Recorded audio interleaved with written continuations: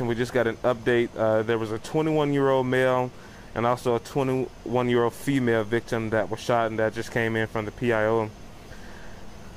Uh, shot here at this location in Fairfield. Uh, this is the 400 block of Fairfax Drive, Chateau Glen Apartments here in Fairfield. Correction uh, from the sheriff's office, they say it's a 24 year old female you have a 21 year old male and also a 24 year old female shot at this location. So two people shot at this apartment complex in the 200 block of Fairfax and the 400 block of Fairfax Drive here in Fairfield, Alabama.